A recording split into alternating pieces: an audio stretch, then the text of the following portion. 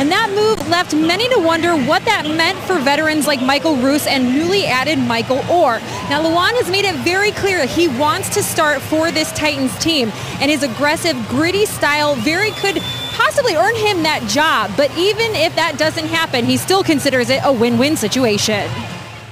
First of all, I agree. They had a good offensive line before I came here. And uh, I think being in a situation to have the opportunity to be around Roos, be around Oher, Schwenke, uh, Chris Spencer, who's been in the league, this be his 10th season, though being around those kinds of guys is going to make me a better player, not just this year, but six years down the road as well.